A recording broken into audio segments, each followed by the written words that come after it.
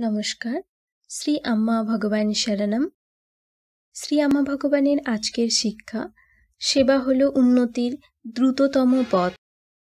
প্রথম চমৎকার, আমি ওয়ারাঙ্গেলের দেশাইপেটা থেকে জি সন্তোষ বলছি। শ্রী আম্মা ভগবান আমার জীবনে অসংখ্য চমৎকার করেছেন। তারা আমাকে পুনর্জন্ম দিয়েছেন। একবার অ্যাপেন্ডিসাইটিসের কারণে আমায় হসপিটালে ভর্তি হতে হয়েছিল। অপারেশনের সময় হঠাৎ করেই আমার অবস্থা সংকটজনক হয়ে যায় এবং আমি কোমায় চলে যাই। পরে শুনেছিলাম, চিকিৎসক তখন আমার প্রিয়জনদের বলেছিলেন যে আমার বেঁচে ফেরার আর কোনো আশা নেই। এর এগারো দিন পর ধীরে ধীরে আমার অবস্থা স্বাভাবিক হয়। ওই এগারো দিন আমার মনে হয়েছিল আমি যেন আম্মা ভগবানের সাথে স্বর্গে রয়েছি এবং খুব আনন্দের সাথে তাদের সাথে নাচ গান করছি। আমি মনে করি আমার বাবা মায়ের আকুল প্রার্থনায় সাড়া দিয়ে শ্রী আম্মা ভগবান আমাকে এই পৃথিবীতে ফেরত পাঠিয়ে দিয়েছিলেন। এরপর ধীরে ধীরে আমি সম্পূর্ণ সুস্থ হয়ে উঠি। আমার এই অনুভূতি শুনে সবাই বিস্মিত হয়ে গিয়েছিল। আমার জীবনে এইরূপ অনুগ্রহ প্রদান করার জন্য শ্রী আম্মা ভগবানকে আমি অসংখ্য কোটি ধন্যবাদ জানাই। দ্বিতীয় চমৎকার, আমি ওয়ারাঙ্গেলের হনুমাকুণ্ডা থেকে জয়া বলছি।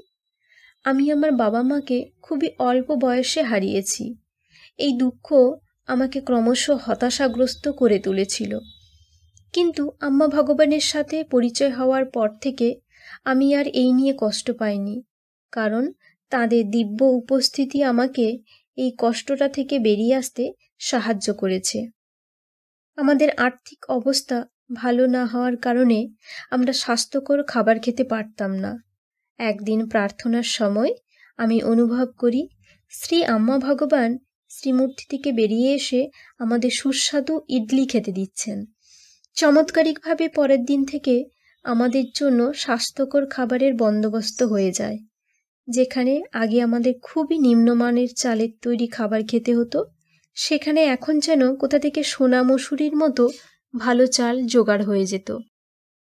শ্রী আম্মা ভগবানের কাছে প্রার্থনার করার পর থেকে আমাদের জীবনে অনেক চমৎকার হয়েছে। বর্তমানে আমাদের আর্থিক অবস্থা আগের থেকে অনেক ভালো হয়েছে। আমরা এখন আম্মা ভগবানের সাথে খুবই আনন্দের সাথে জীবনযাপন করছি। আম্মা ভগবান, মা বাবার মতোই সবসময় আমাদের সাথে রয়েছেন এবং আমাদের ইচ্ছা পূরণ করে চলেছেন। তাই আমি আমার প্রিয় আম্মা ভগবানকে অনেক অনেক ভালোবাসা জানাই।